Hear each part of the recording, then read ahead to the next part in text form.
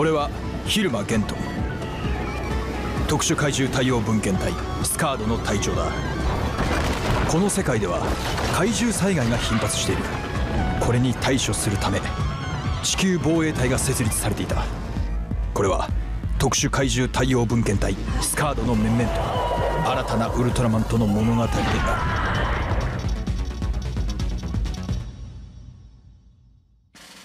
る。地球防衛隊は怪獣の特性を迅速に調査分析し対応するため日本支部に新たな特殊部隊を設立。特殊怪獣対応分遣隊スカードだ。その隊長に俺蛭間玄斗が任命された。スカードの隊員には4人の精鋭が選ばれスカード作戦指揮所スカード CP を拠点に地球防衛隊の他の部隊とは完全に独立した作戦行動を取ることを許されている。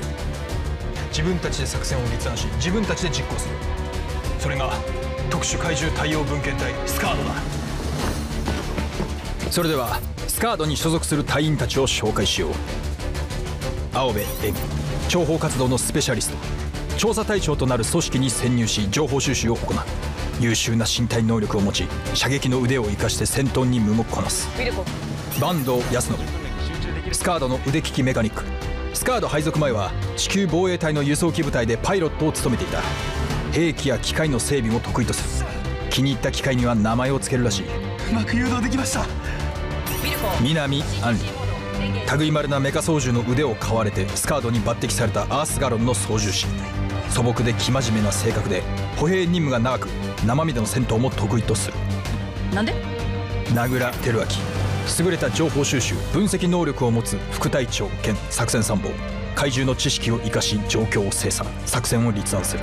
冷静な戦況分析と判断に強い信念を持つ。スカード CP 5春の列。スカードの創設者で地球防衛軍日本支部司令部参謀長。俺をスカードの隊長にスカウトした。あのウルトラマンブレイザーよりも先に。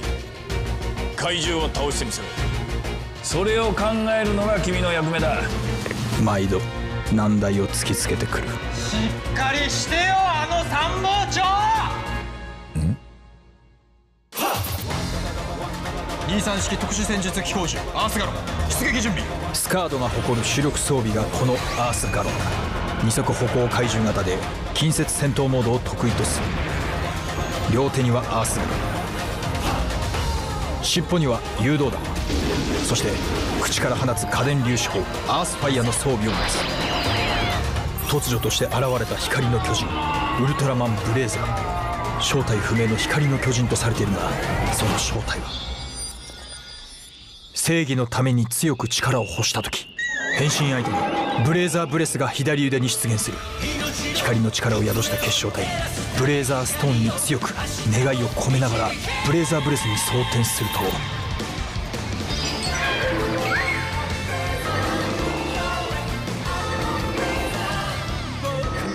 まばゆい光を放ちながらウルトラマンブレーザーへと変身できる。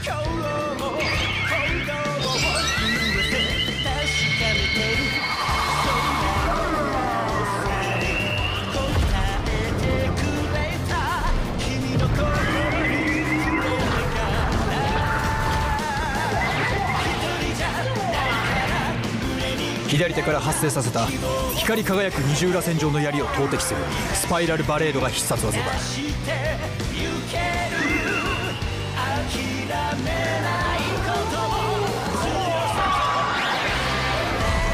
ウルトラマンブレーザーとは何者か。そして。待機しつつ合流まで俺たちスカードの面々とウルトラマンブレーザーに待ち受ける運命とは？お互いを呼び合う時は下の名前かあだ名で。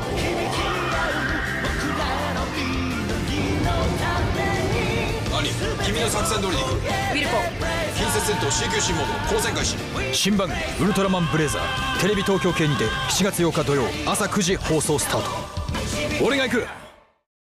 無料見逃し配信も公開